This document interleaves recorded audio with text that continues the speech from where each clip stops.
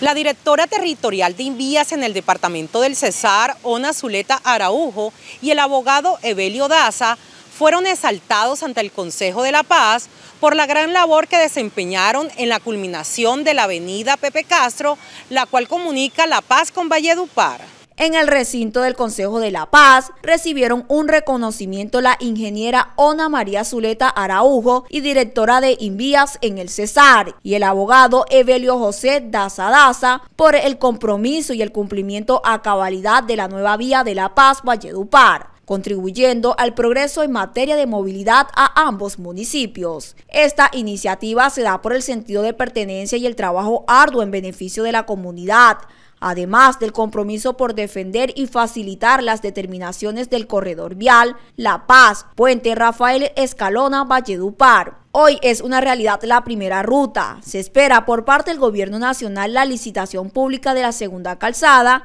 que de acuerdo a los estudios y diseño contará con una ciclorruta, zona peatonal y paraderos de buses.